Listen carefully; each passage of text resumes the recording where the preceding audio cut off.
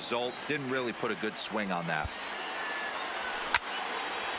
Takes this the other way to right. That gets down, and the inning continues. Here's the third baseman, Josh Now Donaldson. batting, No third hits to this point. Donaldson. First delivery to him on the way. Started to go around there, but he holds up ball one.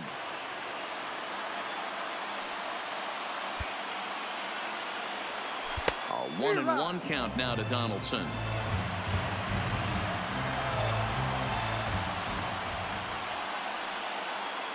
Darvish pauses. 1-1 on its way.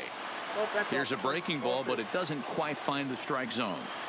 Well, I kind of wonder if he's not being as aggressive as he was before that home run. Hey, this is a guy that can burn you again, so I don't really blame him.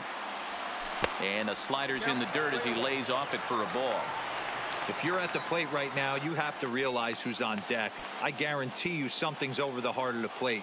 You have to be aggressive in the zone right here. And he is in there. They couldn't get him at second.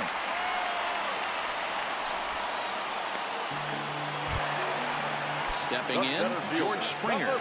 And we'll see what he can do here with a pair of runners on base and two gone here in the fifth. Good take there to lay off the high fastball. Springer is a prolific power hitter, and you probably didn't need me to tell you that. Doesn't matter what kind of pitching he faces, there's a lot of pop in that bat. Yeah, this guy absolutely does not discriminate. And you could close your eyes during batting practice and know exactly who's hitting the baseball in the cage. 2 0 now.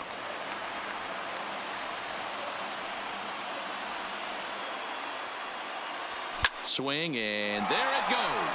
Deep to left field. And gone into the right field bleachers. And that brings in the power hitting shortstop Now Trevor Story. It was a flyout for him in his last trip. Now here's the pitch. And here's a slider that's nowhere close and it's 1 0.